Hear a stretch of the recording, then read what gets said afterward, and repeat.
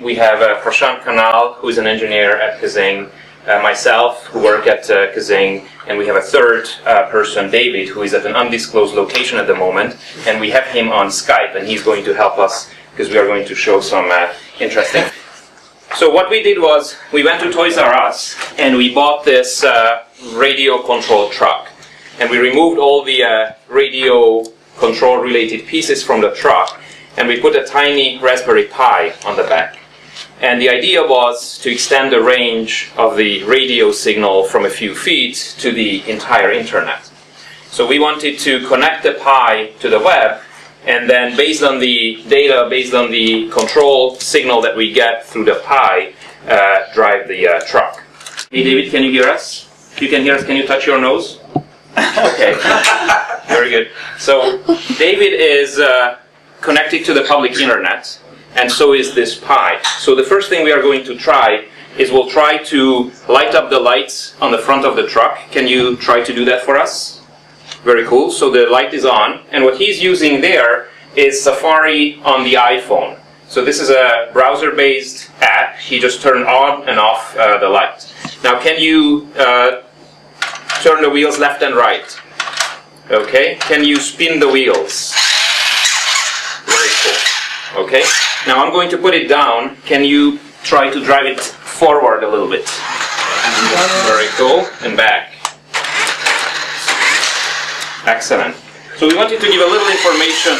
Very cool. Uh, we attached the Pi to the back. There were a couple of problems, a couple of challenges we had to solve. First one was the battery. So it carries its own little uh, battery. It's a, a cell phone charger uh, battery. The truck itself has a separate battery that helps it uh, travel back and forth.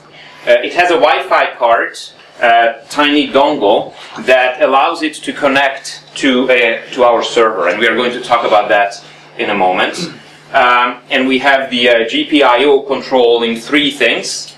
The first one is the lights in the front, second one turning the wheels left and right, and the third one is uh, moving the truck, propelling it forward uh, and backward.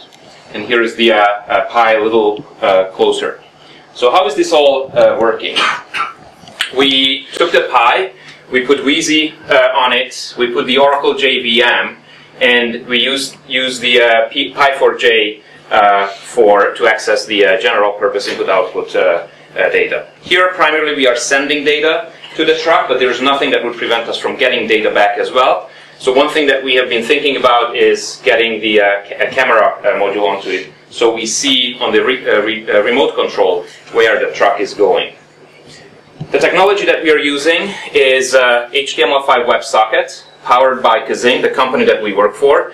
Kaazing has an enterprise-grade, high-performance, very secure, very scalable, very low latency WebSocket server. For those of you who are not familiar with HTML5 WebSocket, the idea is that now the browser has the ability to have a establish a permanent connection to a server, to a WebSocket gateway, and send messages back and forth very, very quickly.